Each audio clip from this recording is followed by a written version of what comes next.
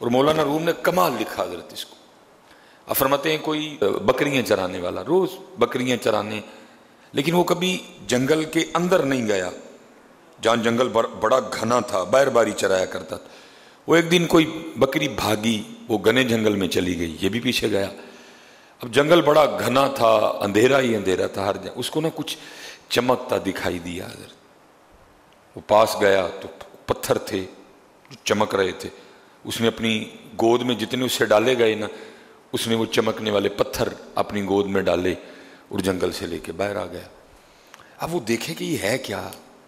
तो उसने तो समझा चमकने वाले पत्थर है, जाहिल था, आलिम नहीं था, किसी आलिम के पास बैठने वाला भी नहीं था। इसलिए तो कहा गया है कि अपनी सोबतें अच्छी रखो ताकि तुम्हें पता चले।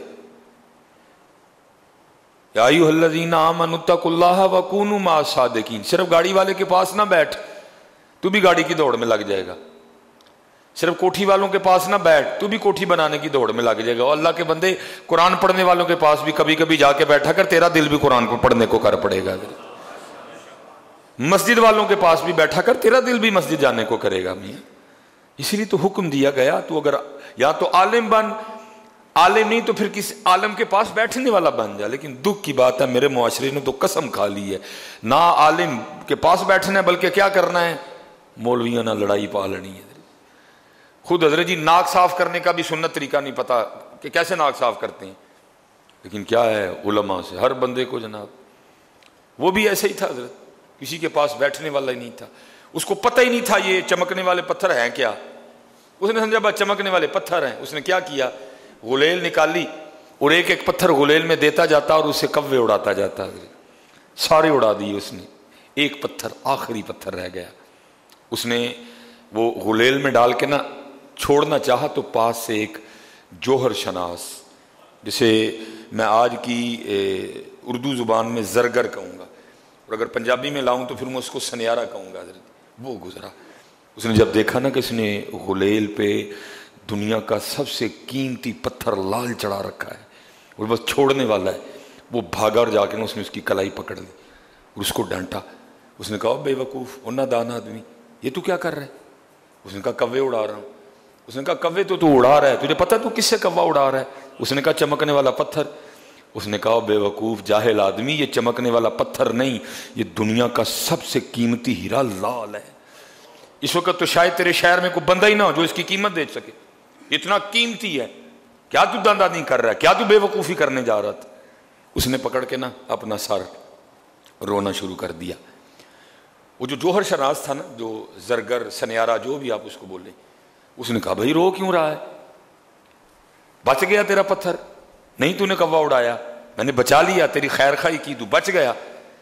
उसने कहा, रो इस बात पे रहा हूँ, अभी मैंने इसको चलाया नहीं तो तू मुझे डांट रहा है। मैं तो वो बेवकूफ़ आदमी हूँ जो सुबह से लेकर अब तक कहीं सो चला चुका हूँ।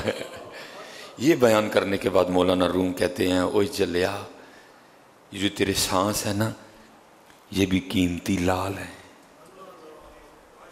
तू इनको चला रहा है बेतुका।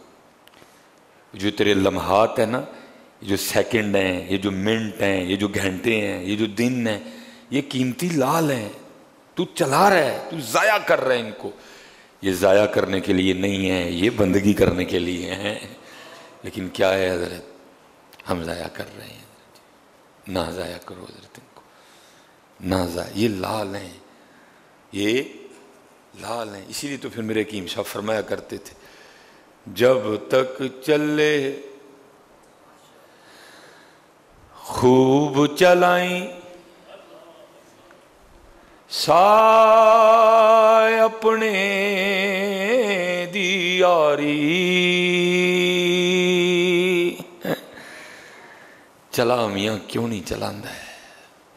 जब तक चले, खूब चलाई। साय अपने दियारी। तिला सटफा जंजाला वाले। तिला अल्लाह नल यारी है। कीमती लाल निमिया एक कीमती लाल नहीं, बड़े चला बैठे पहले ही। ऊन ना चला है ऊन ना चला, ना जाया कर मिया। आने से नौ माह पहले पता चल गया कि तू आ रहा है, लेकिन याद रखना मिया।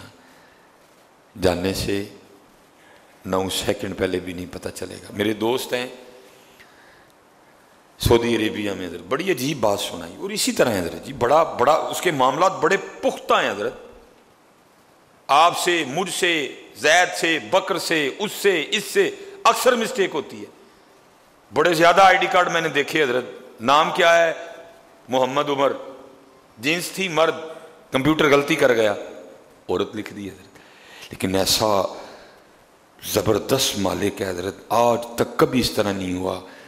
कि हज़रत जी, बेल हो कद्दू की और निकल टिंडा है। ऐसा शानों वाला मालिक है ऐसा शानों वाला कभी आज तक नहीं हुआ। दरख्त आम का और निकल सेब आए कोई मिस्टेक है ही नहीं हज़रत इन नमा अमरूह इदारा दशैया अकूल लहू कुन फयकू कतरायाब मणि दे कैसी शक्ल बनांदा। देखो जरा रंग उसने क्या बखेरे हैं। कोई डाई, कोई स्केच, कोई इंजीनियर, कुछ नहीं।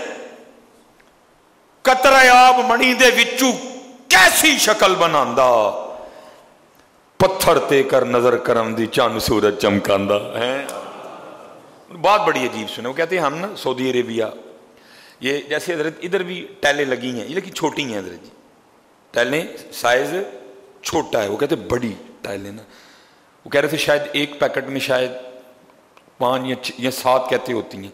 कहते, मैं चढ़ा था, मेरे साथ जो बंदा हेल्पर था मेरा, कहते, हम लगा रहे थे हज़रत कहते, मैंने उसको मना भी किया, सारियाँ ना फाड़।